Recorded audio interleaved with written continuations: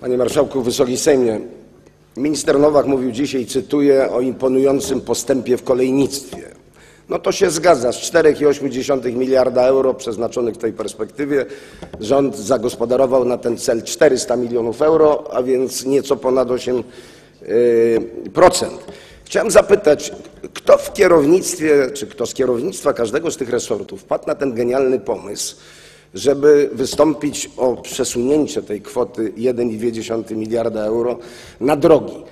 Bo to jest połączenie, przepraszam, ja rzadko używam ostrych słów, no ignorancji z arogancją. Przecież wiadomo, że to jest sprzeczne z przepisami. Więc kto na to wpadł? Druga rzecz, w jaki sposób i czy, mam nadzieję, że nie, y, ta decyzja wstrzymania tej spornej, jak się dzisiaj okazuje, kwoty odbije się na dalszym programie budowania dróg i obwodnic.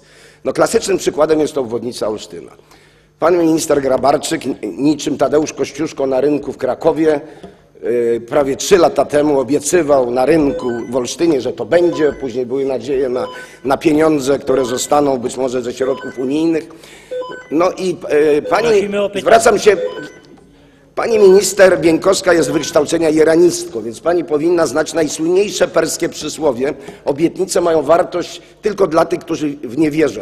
I problem polega na tym, czy pani zdaje sobie sprawę, że dzisiaj już nawet nikt nie wierzy w to perskie przysłowie, bo już mało kto wierzy w te programy, które zostały zapowiedziane.